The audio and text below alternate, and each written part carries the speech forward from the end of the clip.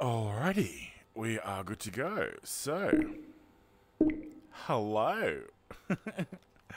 um, how you doing? Just hanging out my my you know my old favorite freaking abandoned warehouse, uh, nuclear bunker thing, underground thing, whatever it is.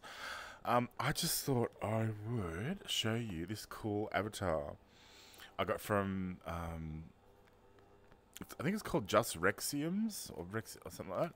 I don't know. I don't know the exact name. But how cool is this avatar? He's so cute. He's a he's a freaking he's a Dalmatian. How cool is he? He's he's awesome. I love him. Um, you can change your outfits. I'm not going to because I really like the how I've got him set up. See, ta-da!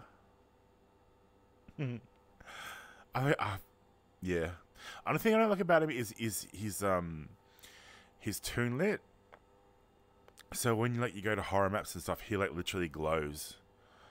Um, but you know, not too bad. Like I've seen some really glowy avatars. He doesn't glow too bad, considering he's pretty much all white.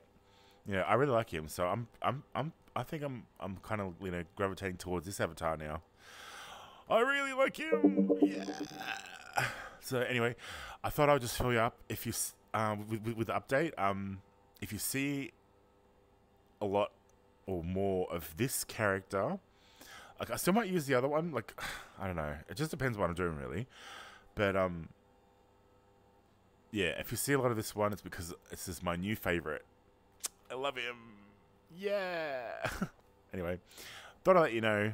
Anyway, stay tuned for more what's coming up in the coming times to come.